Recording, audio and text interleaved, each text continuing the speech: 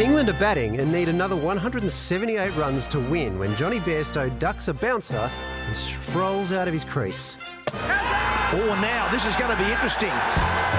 Jonny Bairstow's walked out of his crease here. This could well be out. Alex Carey's just thrown the ball at the stumps and hit them. Bairstow thought the ball was dead, i.e., no longer in play. You sure about that? However, perhaps he should have been familiar with the laws of the game, which are The ball shall be considered to be dead when it is clear that the fielding side and both batters have ceased to regard it as in play. Aussie keeper Alex Carey, regarding the ball as in play, throws down the stumps. Bairstow's out, and one-eyed English fans are livid. There's a few boos ringing out around the ground. It said to me, the laws of the game require players to play to the laws of the game. Jonny Bairstow has to wait till that ball is dead, and it was not dead. You could hear the monocles dropping when, at lunch, the Australian team were harangued by local scallywag members as they made their way through the Lord's famous long room.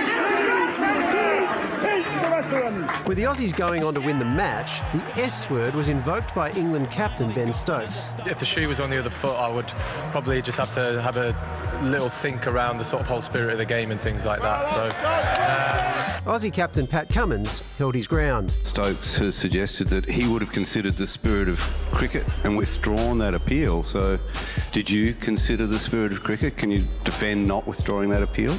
Okay. Um, I thought it was fair. It was all one motion. There was no pause or sneakiness about it. It was catch, throw straight away. Would you have withdrawn it? would I want to potentially win a game with something like that happening? It would be no. Back home, Aussie fans quite rightly think the Poms can get stuffed. I don't know what the English are complaining about. I think it's totally fine. It was within the laws of cricket. Bairstow absent-mindedly wandered out. Wait, so the guy walked out of his crease? He should have known better. They're saying it's not in the spirit of the game. What do you reckon? It's a load of rubbish. A load of crap. They said it wasn't in the spirit of the game because they lost. Do you believe in such a thing as the spirit of cricket? Yep. Regardless, things are now heated as. Is it going to affect relations between the teams, do you think? Well, I can't imagine we'll be having a beer anytime soon, if that's what you're asking. And three tops from the long room lunch argy bargy have copped it sweet. The MCC can confirm it has suspended three members. Back of the net. Yeah, I think some of them might lose their membership over the way they behave. It's all happening. The Poms are whinging. All they do is whinge. They always do. Pardon up. Jonny Bairstow goes walking down the wicket and is run out. Smart work by Carey.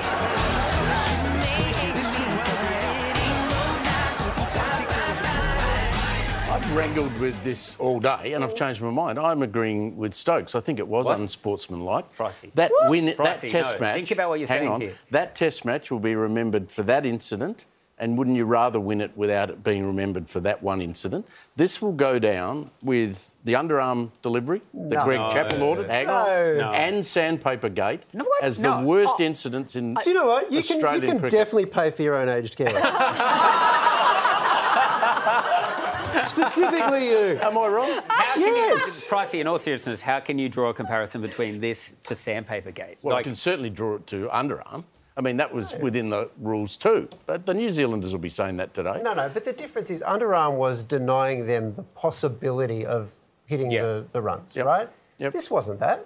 If, you know, Is that would- in the spirit of cricket? I think I, you, I reckon it is only because because Carey takes the ball. I don't know if we can show this again, but Carey takes the ball and Yep. he throws it straight away. Mm. If he took it and waited and then waited for him to come Yeah, out, but he knew he was going to wander out of that crease because Yeah, he'd because- been doing it all but day. But he doesn't have the right to do to wander Yeah. out of his crease. And what, the first thing they teach you in Do you under wanna 10 win cricket, like? Pricey, it's like stay in your crease till the ball's dead. You Wait, want to what, win a test What match. means what makes the ball dead? What has to happen for the ball to be dead? It was the end of an over, wasn't it? Yeah. So is it, isn't it automatically the ball what is would dead at the end normally of an happen is the umpire would say over, and then I mean it's a difficult code, Mm. isn't it? It's difficult to understand when it's over. I, I reckon it, it's absolutely fine. Mine is not a popular view. Wait, No, it's not a popular. The hypocrisy as well from the English. I think there was a de- there was a denied catch the day before, which was Yeah. quite controversial, Yep. and there were people talking about the spirit of the game then, and it's just the shoes on the other foot. And there's been lots of uh, like footage that has come out of the last few years of the English Trying doing to say that. very similar I think stuff. we can all agree, apart from Pricey, that the fact that they really hate us winning this way Yeah. only makes it better. Exactly. and it's masking the fact that they're two down in the ashes at home. So Yeah. it's like Who's the real loser? I would have loved to, loved to have seen a punch up in the long room. How good would that have been? That would seem. Oh, now you're t- welcome Now back you're to talking. Australia. David Warner was that far off grabbing that bloke by the That would have throat. been a different news story.